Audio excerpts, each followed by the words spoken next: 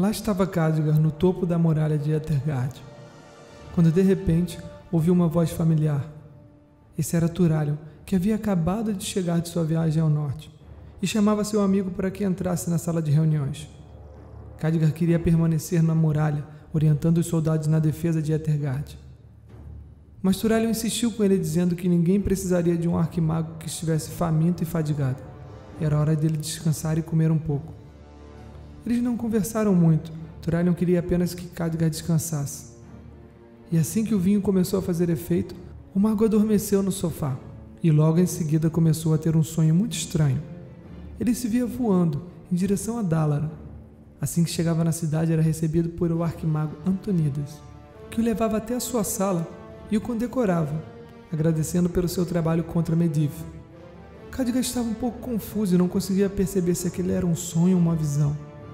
Antonidas prosseguiu dizendo que Dalara teria sido assaltada, de que um bando de cavaleiros da morte teria rompido as defesas da cidade e teria roubado o olho de Dalaran. O olho de Dalaran? dizia Khadgar. Ele sabia muito bem para que aquele objeto servia. Mas por que os orcs queriam aquilo? Antonidas explicou que os orcs só foram capazes de roubar esse artefato pois foram ajudados pelos dragões negros, e que logo a seguir esses mesmos dragões foram vistos em Alterac, incendiando as tropas da Aliança e eliminando todos aqueles que protegiam o castelo de Perenod. Mas como esse traidor conseguiu falar com os dragões? perguntava Khadgar. Antonidas apenas balançava os ombros. Ele não fazia ideia do que teria acontecido, mas de alguma forma, Perenod, os orcs e os dragões estavam ligados. Outra coisa que os investigadores de Dalan haviam descoberto é que o livro de Medivh, que havia sido roubado de Vento Bravo, teria sido encomendado por Perenod. E esse, por sua vez, fez um acordo com os orcs e os dragões, entregando o livro em troca da sua liberdade. Enquanto Khadgar refletia, Antonidas dizia que não queria preocupar demais, mas que era importante que o jovem arquimago ficasse ciente de tudo o que estava acontecendo. Khadgar agradeceu a Antonidas e, logo a seguir a isso, despertou do sonho.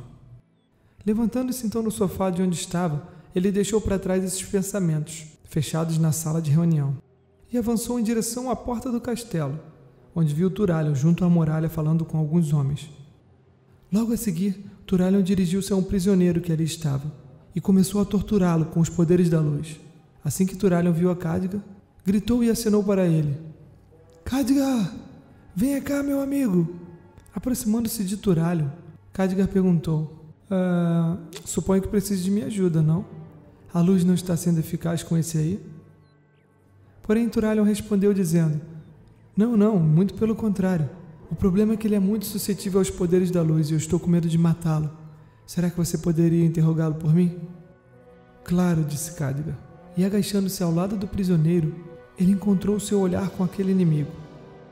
Você tem um nome, Cavaleiro da Morte, dizia Khadgar. Criatura apenas rosnou, contorcendo-se nas cordas que o amarravam. Se é assim que você quer, tudo bem, disse Khadgar enquanto encolhia os ombros e preparava em suas mãos um poderoso feitiço arcano.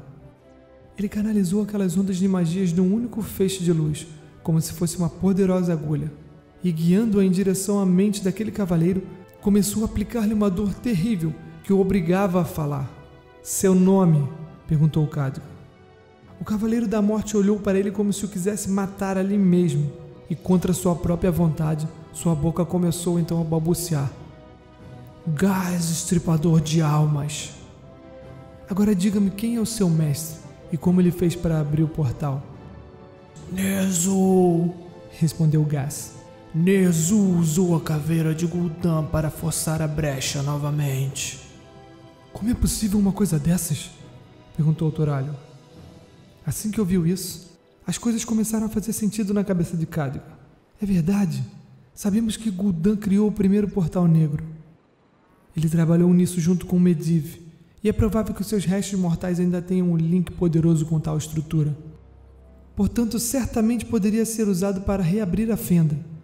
Assim como o livro de Medivh que Perenod roubou e entregou aos orcs, esse tal Ner'zhul precisava de Gul'dan, ou pelo menos de seu crânio e dessa forma a fenda poderia se manter aberta novamente. Agora eu entendo por que a brecha permaneceu. Sem o crânio de Gul'dan eu nunca seria capaz de fechá-la. E sem o livro de Medivh, jamais saberia qual é o feitiço correto para destruí-la de uma vez por todas. Quando acabou de dizer tais palavras, Cadga sentiu um toque em seu ombro e, olhando para ver quem era, viu Turalho, que o pedia para se afastar do Cavaleiro da Morte. Diga, disse Cadga. Temos boas notícias. Nossas forças identificaram os orcs caminhando para o portal. Parece que eles não vão mais atacar Ethergard. Também recebemos notificações do almirante Proudmore. Ele relatou um ataque ao Porto Menetil. Aparentemente foi um bando de orcs apoiado por dragões negros. Você pode acreditar numa coisa dessas? Eles roubaram barcos e desapareceram. Parece que estavam fugindo para o mar. Quando ouviu isso, Cadga suspirou fundo e lembrou-se do sonho que havia acabado de ter com Antonidas. Só então o jovem mago percebeu que não foi um sonho. Antonidas havia o contactado telepaticamente. E para onde Proudmore diz que eles foram? Perguntou Cadga. Os seus patrulheiros seguiram o rastro deles e disseram que eles desapareceram a sudoeste, em direção ao oceano. O quê? Sudoeste? Disse Cadga. Eles não estão fugindo. Recolheram barcos. Eles têm o livro, têm o crânio. Eles estão indo para a tumba de Sargeras. Gudan tentou fazer isso, mas a legião o matou. Tudo se encaixa agora. Sargeras se foi, mas isso não significa que a tumba esteja vazia. Os orcs estão procurando algum artefato, algo que ele tenha deixado para trás. A tumba sempre fora protegida e nenhuma criatura de Azeroth poderia violar o selo. Mas é claro, os orcs não são de Azeroth. As magias que a protegiam não estavam preparadas para suportá-los. E voltando-se para o Cavaleiro da Morte, Khadgar voltou a torturá-lo e perguntava: Por que Ner'zhul enviou os orcs ao túmulo de Sargeras? O que eles buscam naquela tumba? Contudo, o Cavaleiro da Morte gargalhava, com um bafo terrível de pulmões apodrecidos. Khadgar amplificou então o feitiço, fazendo o cavaleiro gritar de agonia. Porém, apesar da profunda dor que sentia, o cavaleiro não disse uma palavra. E amplificando mais ainda os seus poderes, ele começou a abrir o bico. Nós não ligamos para o seu mundo, humano. Ah, nosso destino é maior do que isso. O coração de Khadgar acelerou quando ele começou a dizer tais palavras. Ele não sabia se eram meias verdades, dicas ou mentiras.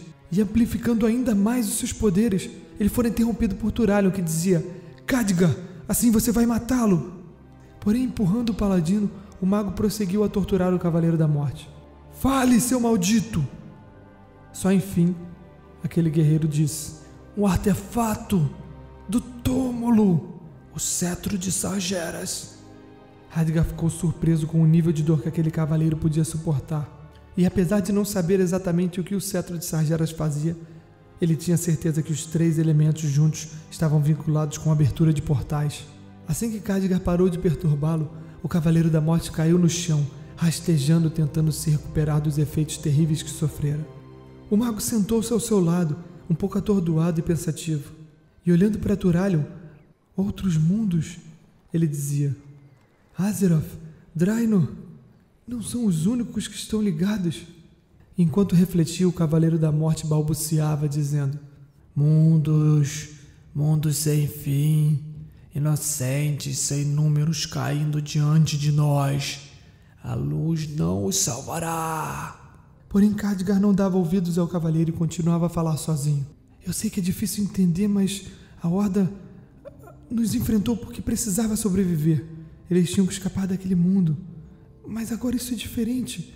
O que eles estão tentando fazer? Escravizar outros povos? Não, não, isso não é possível. E conforme Khadgar desvendava esse mistério, Turalion ficava cada vez mais surpreso. Porém, sentindo um calor em seu interior, Turalion começou a ouvir a seguinte voz que dizia: Não se preocupe, a luz está com você. Estamos com você agora e sempre. Não importa quão vasta seja a escuridão, a luz se espalhará. Não importa em que mundo, nem em que criatura, a luz chegará até lá. Em qualquer alma Saiba disso e prossiga com o coração alegre, Turalion. Colocando a mão em seu peito, Turalion olhou para o lado para tentar perceber se outros estavam ouvindo aquela voz. Porém, ele chegou à conclusão que ele era o único. Era como se uma entidade muito poderosa da infinidade do universo tivesse o contactado naquele momento. Inspirado de bravura, Turalion começou a fazer um discurso. Nós temos que detê-los, afirmou ele. Não podemos deixar que outros inocentes tenham esse destino maldito. Isso termina aqui em Azeroth. Ninguém mais deverá sofrer nas mãos da Horda. A luz brilhará sobre todos os mundos, e nós seremos seus mensageiros. Enquanto dizia tais palavras, Turalion ouviu uma voz que vinha de trás dele, que dizia: Não pense que vai a algum lugar sem mim. A voz era facilmente reconhecida por ele. Aléria. Você estaria disposta a enfrentar um exército duas vezes maior do que o combatemos na Segunda Guerra, Aléria? Mas é claro que sim. Eu iria a qualquer lugar para matar orcs, respondeu ela. Turalion continuou então a discursar e a motivar os filhos de Lotar. Ele os incentivava a segui-lo, atravessando também o Portal Negro, buscando vingança contra a Horda, matando o líder Ner'zhul lá do outro lado, recuperando o crânio de Gul'dan e entregando a Khadgar para que de uma vez por todas o portal pudesse ser fechado. Nesse momento, Guy Soul Reaper tirou forças de onde não havia e rompeu as cordas que o amarravam. Ele pulou rapidamente em cima de Khadgar, agarrando-o pela garganta, espremendo-o com toda a força tentando quebrar seu pescoço. Porém, de repente, do meio da multidão, veio um clarão como um raio branco. E com um único impacto, o Cavaleiro da Morte virou cinzas. Assim que o brilho da luz desapareceu, eles puderam ver que Turalion havia o atacado. Essa era uma habilidade muito poderosa que Turalion nunca teria usado, e nem sabia como fora capaz de invocar nesse momento. Parecia que novos poderes da luz estavam despertando nele. Khadgar agradeceu a Turalion, que com toda modéstia respondeu: Foi a luz que o salvou, meu velho amigo. Aléria rosnou então, dizendo: Bem, sua maldita luz o matou rápido demais. Khadgar deu então um sorriso, vendo o veneno escorrer pela boca de Aléria. Poderíamos tê-lo perguntado sobre os carrinhos que vi. Carrinhos? respondeu Cádega. Explique mais sobre isso. Eu vi diversas carruagens serem empurradas pelos orcs em direção ao portal. Eles acharam que estavam passando desapercebido, mas nada pode passar nas florestas sem que os meus olhos estejam atentos. Não sei o que eles tinham lá dentro, mas era alguma coisa preciosa. Eles vieram buscar artefatos, não lembranças. Para que, que precisam de carrinhos? dizia Turalho. Aléria encolheu os ombros então, dizendo: Eu não sei, mas deve ser algo importante. Talvez seja mais uma peça do quebra-cabeça para Khadgar desvendar. Khadgar levantou-se então e disse: Nós temos muito trabalho a fazer. Precisamos enviar uma expedição a Draenor. Temos de encontrar Ner'zhul e acabar com isso de uma vez por todas. Turalion concordou com ele e convocou um batedor, fazendo um gesto com suas mãos. O comandante das tropas começou a escrever um bilhete num pedaço de papel e entregou aquele batedor. Após isso, virou-se para seus dois amigos e disse: Já que os reis da aliança não nos apoiarão, sei bem com quem posso contar. E muito curiosa, Aléria perguntou: Não me diga que está pensando em.